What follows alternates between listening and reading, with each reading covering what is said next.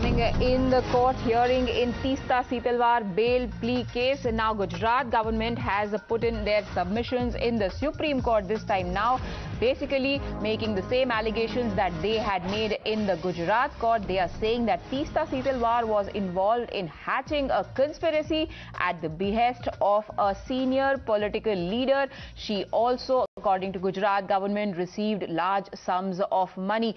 Harish, my colleague who's been tracking these developments in the Apex Court is now joining us. Harish, what were the submissions made? Please run us through the highlights. Yes, Priya. I mean, uh, this uh, affidavit, in fact, comes a day before uh, ahead of uh, the Supreme Court hearing of uh, Teesta bail application, which is uh, listed uh, tomorrow.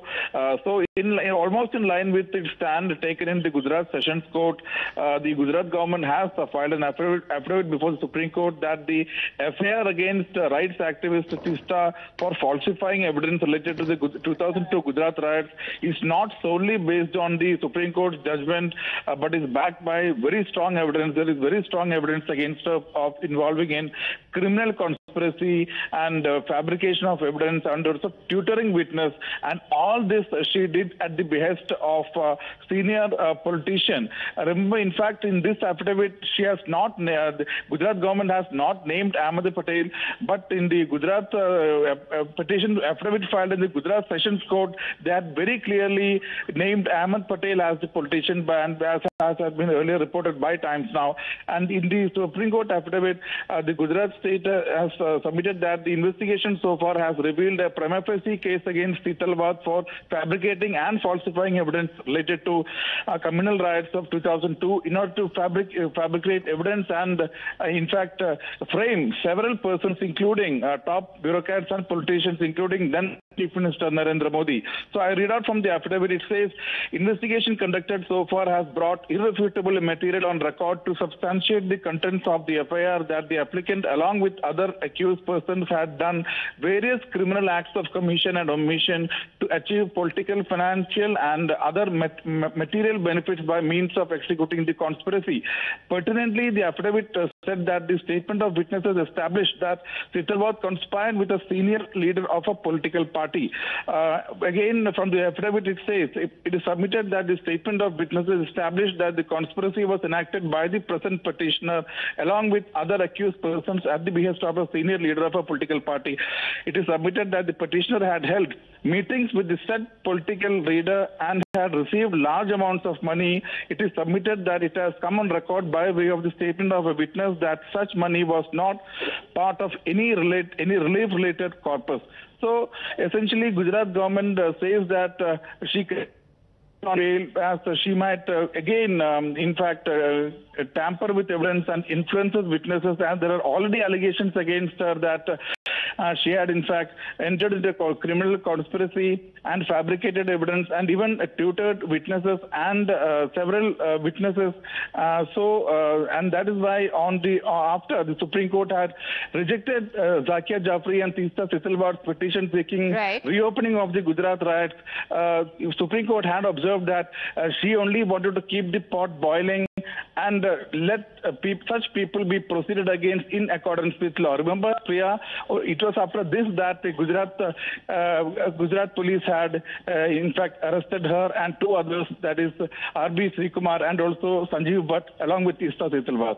Right. Very important points being made by the uh, Gujarat government there in the Supreme Court. The fact that the action that they took against Teesta Setalvad was not just a follow-up of the scathing comments that were made against her by the Supreme Court, but is based on hard facts. My colleague Kritsween now joins us with the details of this. Kritsween, uh, run us through the uh, important parts of this uh, document.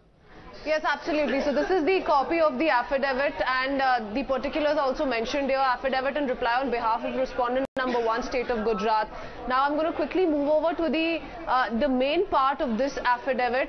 Uh, I'm going to move on to point number 10 because here is where it's clearly mentioned that I respectfully submit that the petitioner under the advice of eminent lawyers of petitioners already selected a correct remedy of seeking bail under section 439 CRPC. The respondent would be failing in its duty if it did not raise, this preliminary objection as the respondents are bound to treat all accused persons similarly.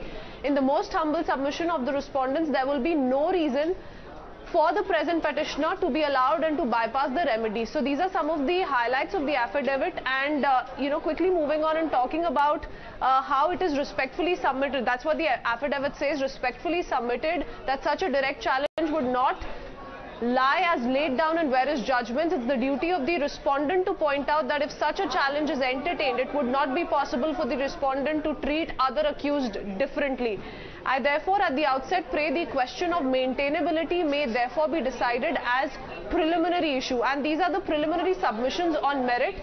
I respectfully state and submit that the FIR is not solely based on the judgment dated on 24th uh, of this year, 24th of uh, June July, pa June passed by the Honorable Court, it is submitted that a pursuit of the FIR shows that though the alleged offence commenced by some actions of the petitioner and others in her connivance and the legal proceedings concluded by the said judgment, the investigation is on independent grounds which is categorically clarified in the FIR itself. So the relevant portion of the FIR is reproduced here under. That's the relevant portion of the FIR also as has been mentioned in the affidavit and uh, Thereafter, it goes on to say it is submitted that the subject matter of the order dated 24 Ju June pertain to investigation into allegations made by several persons and organizations including the present petitioner. So only goes on to solidify what has already been maintained by the Gujarat government. But this is serious uh, right charges that once again resurface via this affidavit the Gujarat government says are backed by